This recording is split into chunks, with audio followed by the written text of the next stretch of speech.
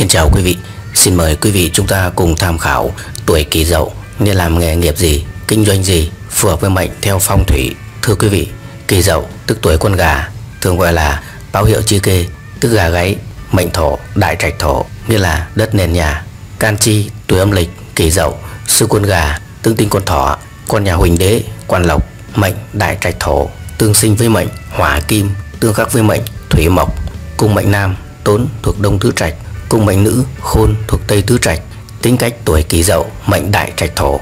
Thưa quý vị, người tuổi kỷ dậu, mệnh đại trạch thổ có tính khí khá tùy duyên, không gò bó theo một khuôn mẫu có sẵn nào. Ưu điểm của tuổi kỷ dậu là sự cơ trí, linh hoạt, tháo vát, có nhiều kế hoạch và sẵn sàng thay đổi theo chiều hướng mang lại lợi ích tối đa nhất. Chính vì cá tính linh động nên họ thường rất được yêu mến vì thoải mái, dễ tính và có năng lực đạt hiệu quả cao trong thời kỳ biến động. Tuy vậy, nhược điểm của họ là chính vì khá tùy duyên, tùy thời nên bản mệnh dễ bị dao động, tâm tư, lập trường và nguyên tắc không nhất quán như những người anh em mệnh thổ khác. Đại trạch thổ là dạng vật chất hình thành do tự nhiên nên tuổi kỳ dậu rất thích cuộc sống tự do, không muốn bị câu thúc. Họ có trí tiến thủ, muốn thể hiện bản thân và có khát vọng được giúp đỡ mọi người. Khi gặp phải tác động từ những biến cố thay đổi bên ngoài, bản mệnh dễ dàng thích nghi với hoàn cảnh nếu tác động có lợi thì họ lập tức lợi dụng, còn nếu tác động có hại thì họ thu mình và cố thủ. Trong giao tiếp, tuổi kỷ dậu luôn có thái độ ôn hòa, điềm tĩnh, đặc trưng của mệnh thổ, kết hợp với sự linh hoạt, giỏi ứng biến nên tuổi kỷ dậu rất khéo ăn nói, dễ nhận được sự ủng hộ của mọi người. Ngoài ra, do đặc tính vốn có, tuổi kỷ dậu cần phải trải qua quá trình rèn luyện, học tập thì mới thành công và giúp ích cho đời.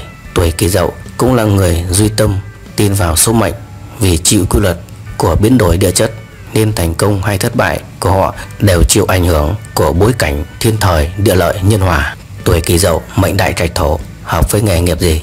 Thưa quý vị, mỗi người lại có một tính cách khác nhau.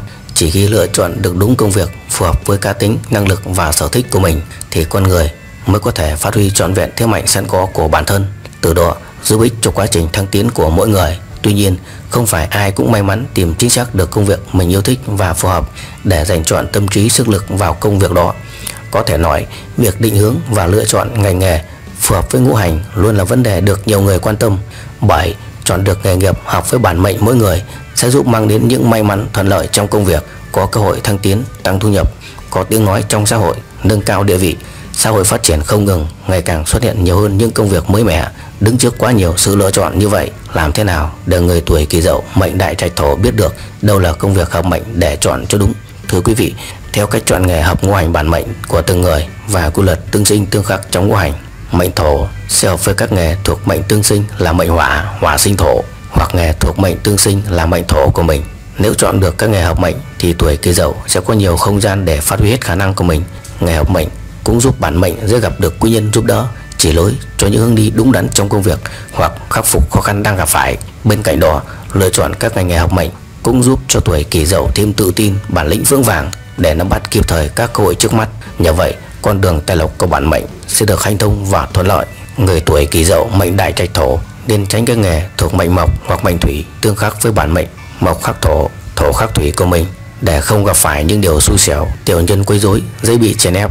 Nghề không hợp mệnh cũng khiến chủ mệnh thường xuyên cảm thấy lo lắng bồn chồn, khó tập trung vào công việc. Từ đó, sinh ra cảm xúc nóng nảy, tự ti, đánh mất cơ hội hoặc gây thù chủ án với người khác.